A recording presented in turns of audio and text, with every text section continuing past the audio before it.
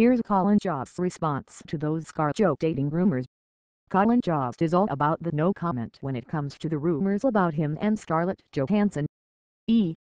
News caught up with the Saturday Night Live cast member and Weekend Update co-host at the Hilarity for Charity's third annual New York City variety show. E! Asked Jost if he had anything to say about his love life. His response was essentially not the response at all. Jost said, No. No. I'm very happy, then when pressed about whether he wanted to set the record straight Jost responded, No. I'm good.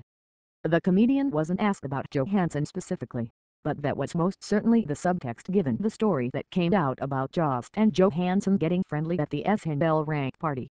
Reports claimed that Jost and Johansson were talking and kissing during the party held on the ice rink at Rockefeller Center. Colin Jost is all about the no comment when it comes to the rumors about him and Scarlett Johansson. E!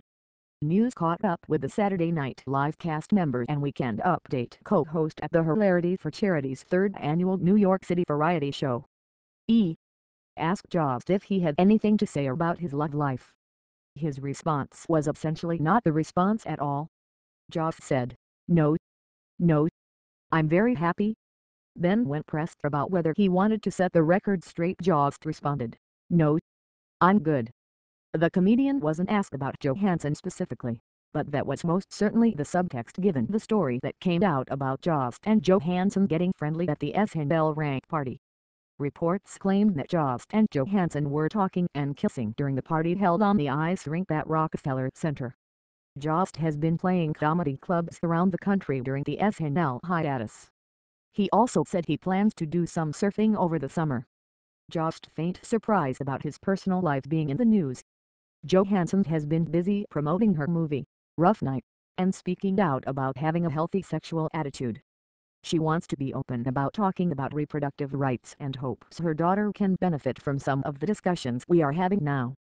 Neither Jost nor Johansson, who have worked together on SNL, has commented publicly on the rumors.